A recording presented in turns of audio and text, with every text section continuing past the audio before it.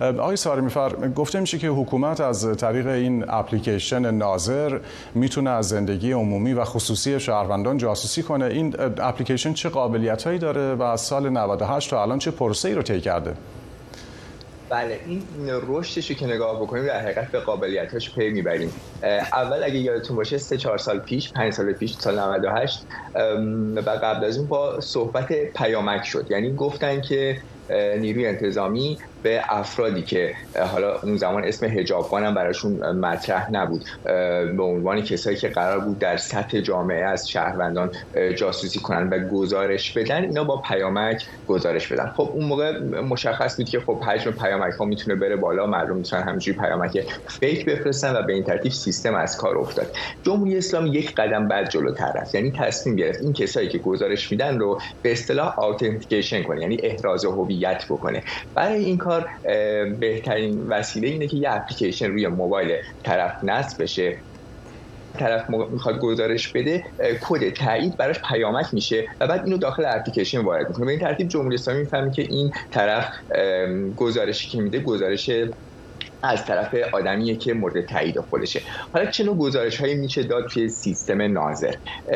در حقیقت ما چهار تا ناظر داریم. این چیزی که گروه فیلتربان منتشر یعنی در حقیقت اون فایلی که منتشر شده و در دست کارشناسان قرار گرفته ناظر یک هست. ناظر یک کارش اینه که در حقیقت هجابان شماره ماشین رو گزارش می‌کنه. این وصل میشه به سیستم پلاک خانی API اونو می‌گیره و همینطور از روی نقشه مکان کاربر مکان در حقیقت اون کسی که به قول معروف هدف هجابان بوده رو وارد می‌کنن و بعد گزارش رو ارسال می‌کنن. البته فعلا فقط میشه باش گزارش بیهجابی داد اما گزینه هایی برای فعالیت دیگه مثلا رانندگی خب حالا همین یه چیز دیگه هم داره. آره پرسش همینه که از ویژگی های مخفی این اپلیکیشن بگی که گویا در آینده می‌تونه به گفته حکومت انواع تخلفات رو گزارش بده.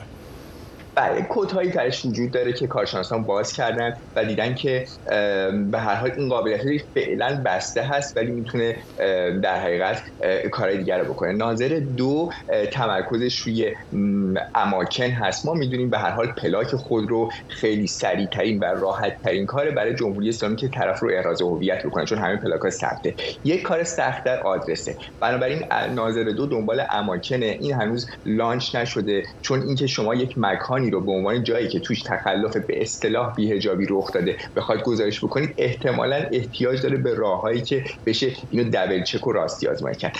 ناظر سه در مورد محیط های عمومی پارک ها فضاهای عمومی در اونجا هجابان احتمالا با گرفتن تصویر و مشخص کردن مکان اینو گزارش میده. اینکه هویت کسی که هدف هجابان هست چجوری مشخص میشه توی این اپلیکیشن الان معلوم نیست. و ناظر چهار در حقیقت برای گزارش دادن در فضاهای مجازیه. با توجه به اتفاقاتی که هفته گذشته افتاد و واکنش هایی که کاربران بعد از ترور آدم هایی با با, با هشت کتلک حالا خلاصه در شبکه اجتماعی راه افتاد این مورد چهارم جدی تر شده. ممنونم.